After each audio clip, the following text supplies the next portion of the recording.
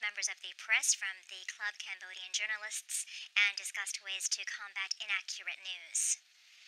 During the event, the Club Cambodian Journalists and the Thai Journalists Association signed a memorandum of understanding on an exchange program which is deemed to be a tool in enhancing media cooperation and improving the images of the two nations. Representatives of the two neighboring countries have exchanged ideas on public relations management in the digital technology driven online community that is susceptible to inaccurate news.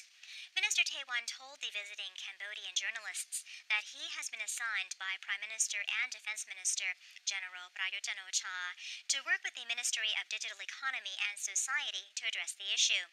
He explained that Thailand is working on three approaches to curb the problem, namely terminating websites that present inaccurate news and prosecute their responsible individuals, educating members of the public on how fact checking and responsible information distribution should be, and lastly, enlisting volunteers to help people understand the threat of inaccurate news. The minister also mentioned the Ministry of Digital Economy's plan to establish an anti inaccurate news center that will incorporate technology in handling the issue in accordance with international standards.